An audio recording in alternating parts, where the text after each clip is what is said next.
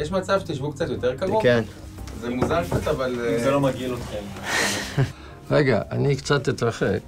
ככה. למה אתה מתרחק ממני? הוא מפחד ממני. תקרבי קצת לאחותך. למה כל כך קרוב? ככל שאני יכולה להתרחק ממנו, אני אשמח. גם ככה הוא יושב לידי כל היום במשרד. איזה נאצות. אתם עובדים ביחד? כן, אני הבוסית שלו.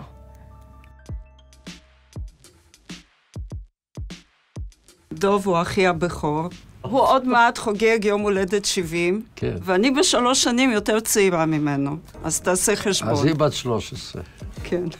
עלינו ב-2006 בתוכנית אה, נוער עולה לפני הורים. סליחה.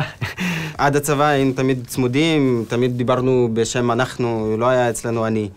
אה, גם כל. הדברים אנחנו עשינו ביחד, הכל. ואז בצבא אה, קלטתי את זה שכמה חבר'ה תיקנו אותי, ואז התחלנו כזה להתרגל לאני עצמי. אני באתי בדרישות להורים להביא לי עוד אח או אחות, חשבו על זה וחשבו וחשבו, ו- וכבר היום זה כבר לא רלוונטי יותר.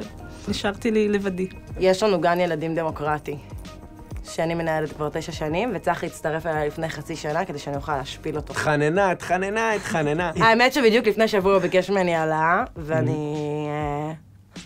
זרקה אותי מכל המדרגות. בדירה הזאת אתה ניסית לשרוף אותי? למעשה, אז ניסיתי להיות מדען. ששרפתי לצחי את הגב. לא רבים יודעים, אבל לצחי יש צלקת מתחילת הגב עד אמצע כבר אין. כבר אין. היית במיטה, איזה 30 סנטימטר מהתנור, ואני זרקתי פנימה סרט צילום, חמש שניות, הווילון הזה נדלק. רצתי ישר החוצה לשירותים, דפקתי, אמא... שריפה. שריפה. אמא הלכה לשירותים בחוץ. גברת חוכם שפכה לי קומקום ודפקה על אמא שלי, אמרה לה, אמא, צחי נשרף? צחי הסתובב שבועיים בבית חולים עם רשת על כל הגוף שלו. זו אולי הפעם היחידה שלא התכוונה באמת לפגוע בי.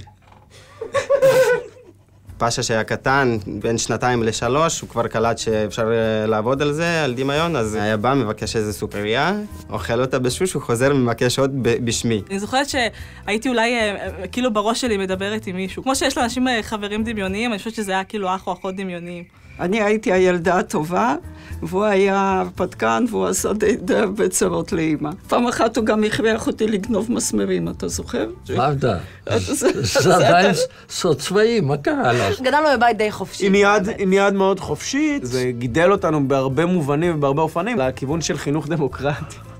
כשהגעתי לארץ זה הרגיש לי נורא, נורא נורא חסר שבאמת אין לצידי עוד מישהו שעובר את אותה חוויה בדיוק כמוני, מהבית. בתור ילדה שמגיעה לאיזו סביבה זרה לגמרי בכיתה ד', זה מאוד מאוד היה חסר שאין לי עוד, עוד מישהו בגיל שלי או קרוב לגיל שלי. המון חברים שלנו שהם עלו לבד והיו איתנו בפנימייה, חוו איזשהו משבר, היה כלשהו שהיה חסר את המשפחה הזאת, ולנו זה לא היה.